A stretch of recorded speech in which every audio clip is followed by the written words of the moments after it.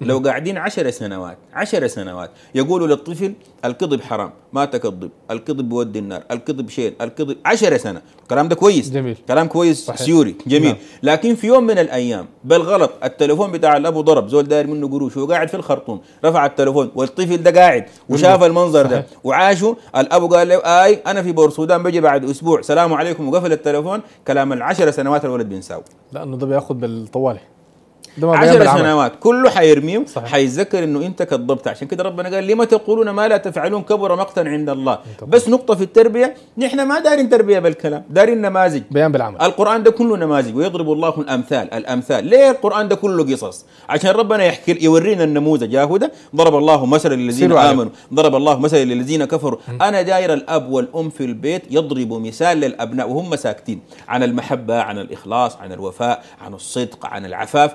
يشوفوهم البيت لو شافت العفاف في أمها وفي أبوها والصدق والمحبة والوئام بتمشي الجامعة تقرأ بين ألف ولد ما ما ما بتحصل لها لها. زي بنت شعيب المشت لموسى براها وهو قاعد في ظل حيطة أو ظل شجرة وتكلمت معه لكن ربنا قال فجاءته إحداهما تمشي على استحياء. ده الحياء اللي علمها لها شعيب.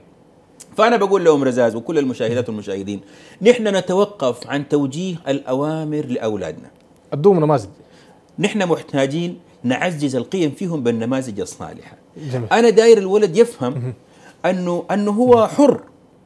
هو ما مقيد. صحيح. إحساس القيد لما نديه للشاب ونطلعه من البيت مكبل يدينه كده مكبل أمشي وما تعاين وما تقيف وما تتكلم وما تفكر وما تنتمي لحزب وما تعمل شنو. سيكسر هذا القيد. الإنسان مصمم إنه يكسر القيود. صحيح. ما قصة آدم قدامي. صحيح. قصة آدم أنا قدامي. صحيح. مصمم إنه يكسر القيود. لكن قول له أنت أزرع فيه قيم الحق والعدل.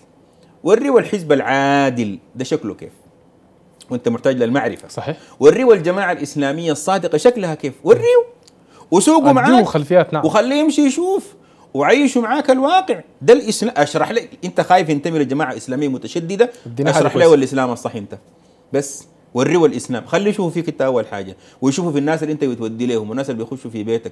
وريه هو ده الإسلام. لقيت حاجة عجبك؟ أيوه. فكرت فيه وده ده وقع عليك في تفكيرك؟ خليه يؤمن به بعد ذاك هو سيعاير بهذا المثال الآخرين. وريه العلاقه الصادقة. خليه يفهم يشوفها فيك وفي زوجتك. خليه يطلع على النماذج السالبة للعلاقات المحرمة الغرامية. يشوفها يكتسب هو القيمة من عنده لما يمشي الجامعة ما محتاجك تقول له مسلح. هو عنده القيمة لكن قضية الأمر اوع تعمل اوع تعمل اوع تعمل بينفع. ما أهلنا قالوا الممنوع مرغوب بالتأكيد